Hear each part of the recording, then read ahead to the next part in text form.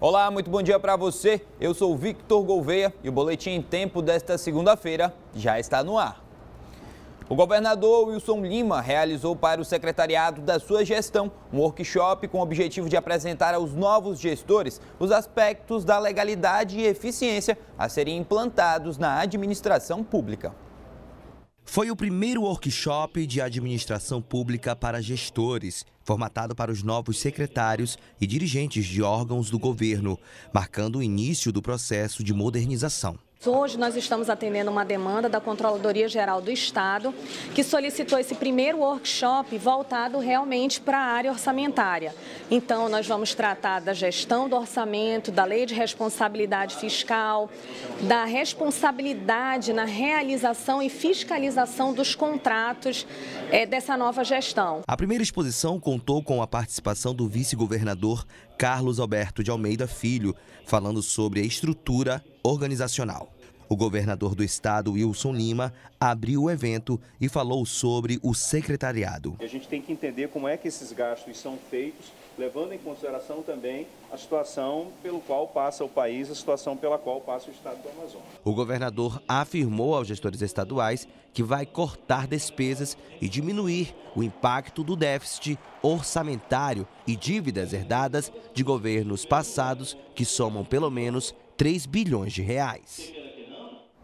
O presidente Jair Bolsonaro assinou o decreto que facilita a posse de arma de fogo aqui no Brasil. Mas quem pode adquirir uma arma? Quais os critérios? Quanto custa? Os repórteres Juliano Couto e Lério Souza explicam para você. Confira aí na reportagem. O cidadão que quiser aproveitar a liberação da posse de armas, medida tomada pelo governo federal, terá de desembolsar no mínimo 5 mil reais em Manaus. O valor envolve a compra do revólver mais simples disponível no mercado, o pagamento de curso básico em um clube de tiro, a compra de cofre para guardar a arma em casa e, finalmente, o pagamento das taxas na Polícia Federal, órgão responsável pela expedição do documento de posse. Dag Muvarela é instrutor de um clube de tiro. Segundo as novas regras, para ter a posse, é necessário o curso ou um laudo que ateste a habilidade do cidadão para usar armas de fogo. Se ele for aprovado nessa, nessa capacitação técnica, o instrutor credenciado pela Polícia Federal emite o laudo atestando que ele passou nesse, nesse teste de tiro e esse laudo vai compor o, o processo de requerimento da posse de arma para que ele possa adquirir a arma. O investimento em um curso de tiro gira em torno de 800 reais. A arma, dependendo do modelo, pode chegar aos 3 mil reais. Algumas no mercado são específicas para as mulheres, são portáteis, cabem discretamente numa bolsa pequena, mas para transportar é necessário outro documento, o porte. Mas o que a população achou dessa facilidade para adquirir adquirir uma arma. Acho que foi uma boa opção por motivos de ser mais flexibilizado para o cidadão ter mais sua arma em casa para sua defesa.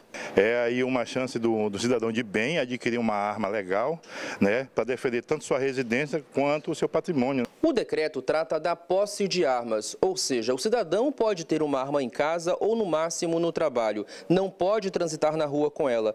Mas o que será que é preciso para adquirir uma arma como essa aqui? Alguns requisitos para o cidadão conseguir o documento de posse são ter cofre dentro de casa ou local seguro para guardar a arma. Pode ter até quatro armas. A validade do registro tem duração de 10 anos e não mais 5. Precisa ter acima de 25 anos, ter residência fixa e comprovar a capacidade de manusear a arma. Este mestre em segurança pública da Universidade do Estado do Amazonas explica que o dono da arma precisa saber que, em caso de utilidade da mesma, ele vai ser responsabilizado. A liberação do porte é o próximo passo do governo Jair Bolsonaro. Não resta dúvida de que o, decreto ele atribui responsabilidade ao proprietário da arma. Aquele que adquire uma arma para ter a posse dessa arma em sua residência ou em seu estabelecimento comercial, ele também assume a responsabilidade de, de qualquer ato que venha envolver essa arma. E ele vai responder, deve responder criminalmente por isso. Como você acompanha na reportagem, não é tão simples assim. O comércio e a indústria estão otimistas com o futuro da economia em 2019. A expectativa é que esse seja um ano de crescimento. O Éder trabalha de 5h30 da manhã às 11 da noite. O comércio dele não fecha nem em dia santo. Mas para que tudo isso? Segundo ele, para não ver a crise bater na porta, como aconteceu com alguns comerciantes de Manaus. É crise para uns, oportunidade para outros, assim que eu vejo. A tua disposição faz a tua fonte de renda. Esse otimismo se reflete nos demais segmentos do comércio. Em linhas gerais, a confiança do setor varejista e de serviços começou a aumentar ainda em novembro do ano passado e se consolidou em dezembro, com as vendas de final de ano. Nós estamos sentindo que a confiança está sendo restaurada.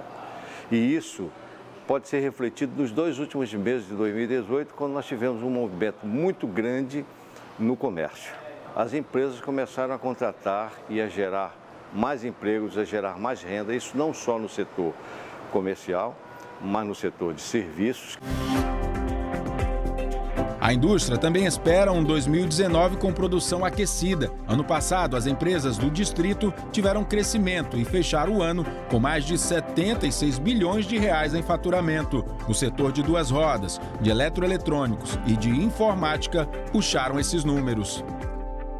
Nem a ameaça do fim dos incentivos fiscais ao modelo Zona Franca de Manaus tira o otimismo da indústria amazonense.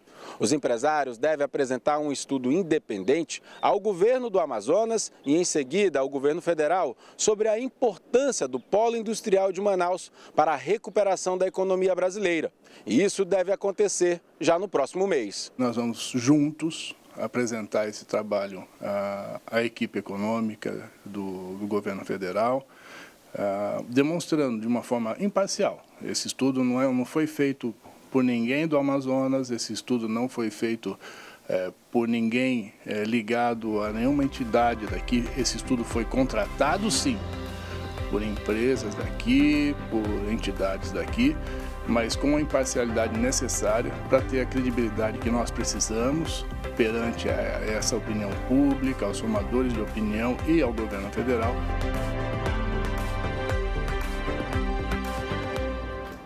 A seguir, você confere como foi a procissão de São Sebastião, um dos festejos religiosos com mais fiéis aqui na capital. É já já, fique aí!